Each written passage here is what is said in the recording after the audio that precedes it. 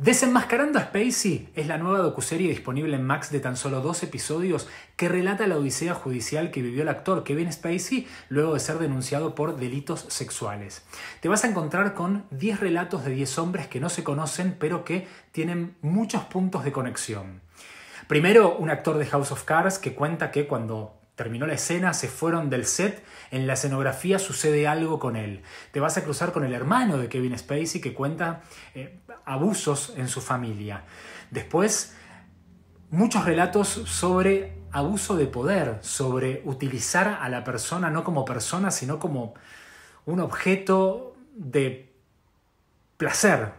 Bueno, la verdad es tremendo. Más allá de que Kevin Spacey es inocente de algunos cargos, estos hombres cuentan su historia muchos años después porque en su momento no podían, porque les daba vergüenza.